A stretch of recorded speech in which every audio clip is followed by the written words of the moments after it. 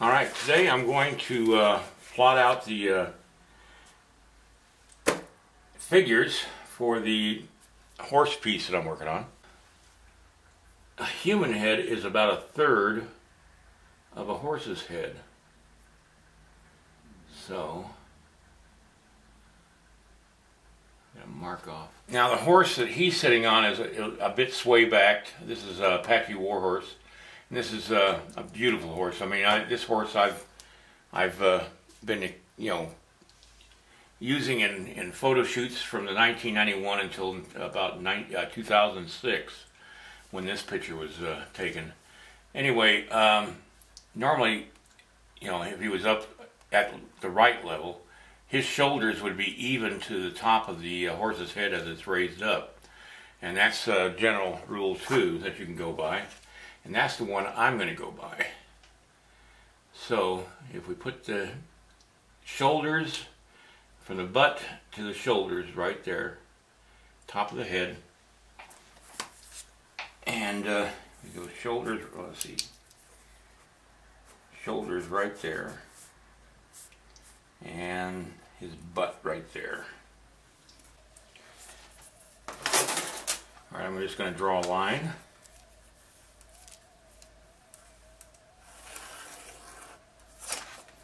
through that.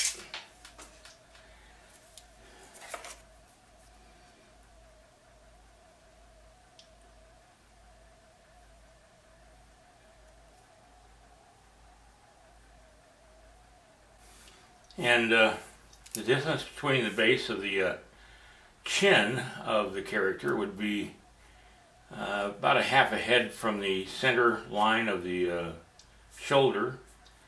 And so that would put the other uh, part of the head measurement there.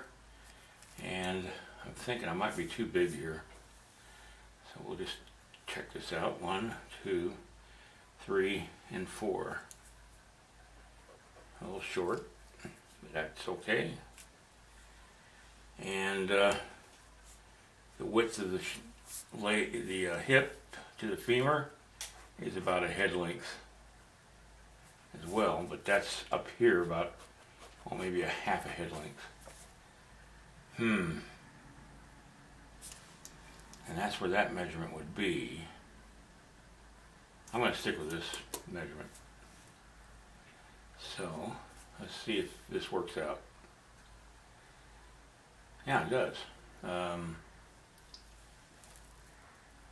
and see, this is the old head from the uh, mountain man that I did on the back of the horse and it works out perfectly right there.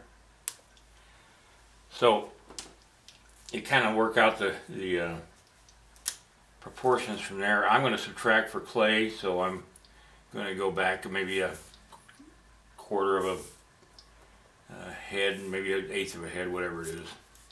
And then it's two heads from the femur to the knee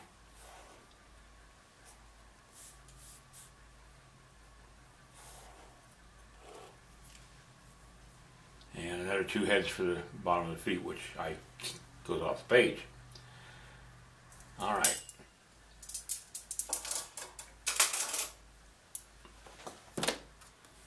That's going to be his, uh, the standing Indian's lower part, or upper part here. I'm going to go from there, the shoulder, to the femur.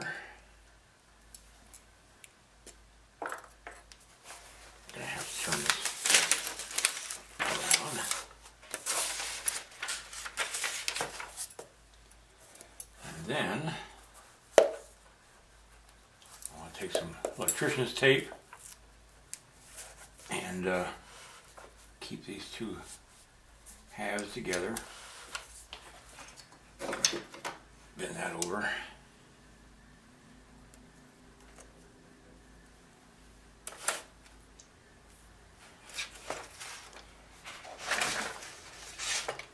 And I want to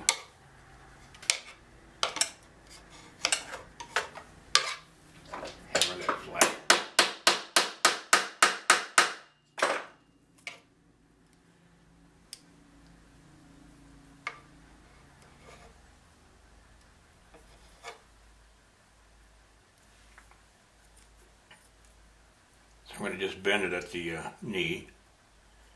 That gives me that uh, point of reference. Now baling wire is just uh, a kind of wire that you can get at the uh, hardware store. It there and there. I just want to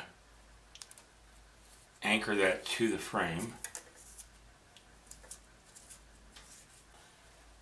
The shoulders are two heads wide.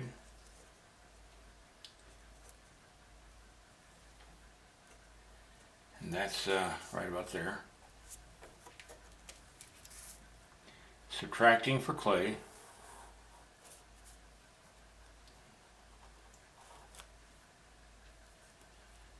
And then uh, the elbow would be just about where the bottom of the rib cage is, which is three heads down.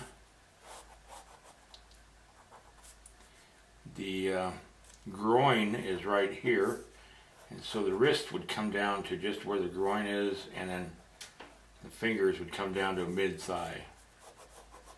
That's generally how it's done.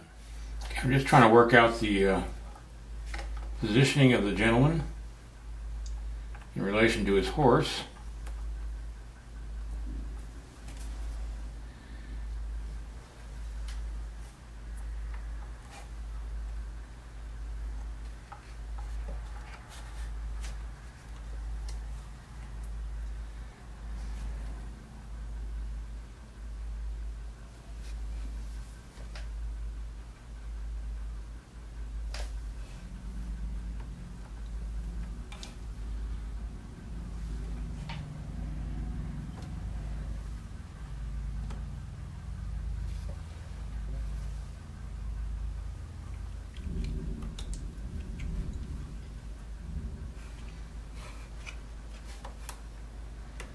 How apropos to have a storm coming in while I'm working on a storm piece.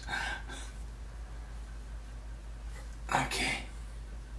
What I'm trying to do is, is position his arm to where he's holding on to the very base of the uh, rope, rope rein, which would be through the jaw of the horse, and this hand here holding on to the rope itself. While trying to stay out of the way of his feet.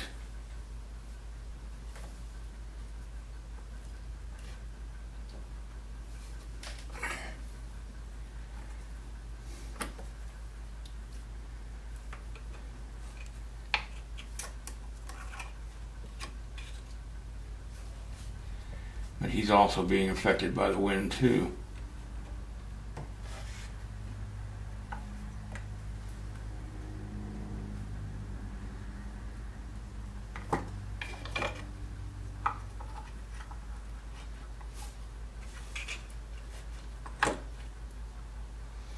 If you think I know what I'm doing, you don't. I, you're wrong. I don't.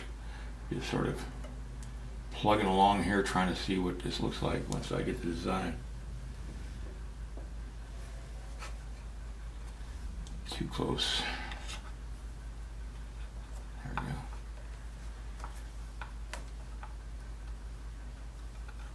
You don't want his body going into the body of the horse, so you got to keep him far enough away.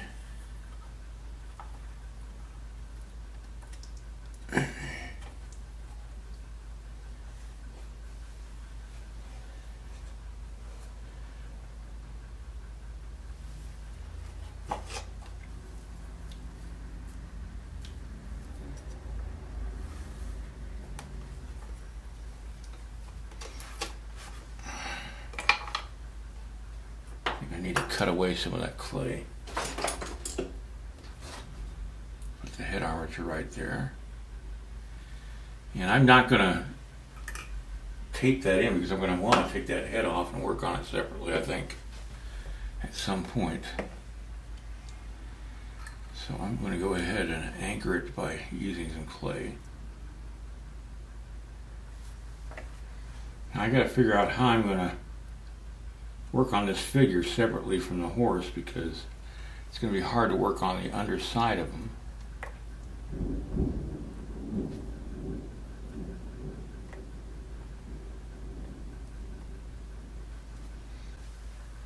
I'm going to set him aside right now. Get this out of the way.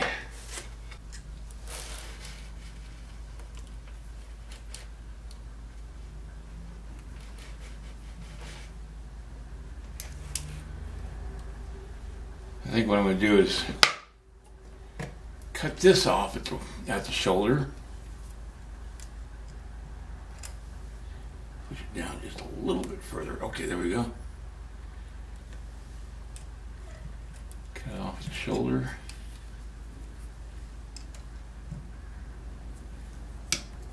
Just so that I've got uh, support for the clay. What's going on his back.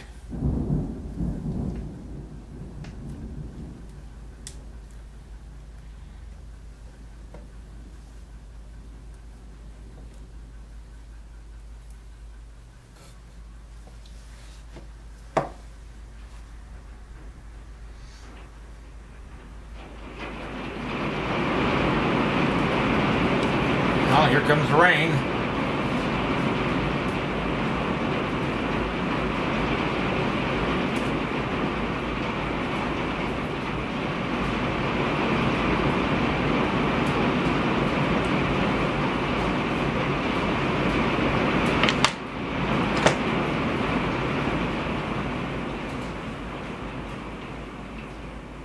I'm just cutting off the knee right there.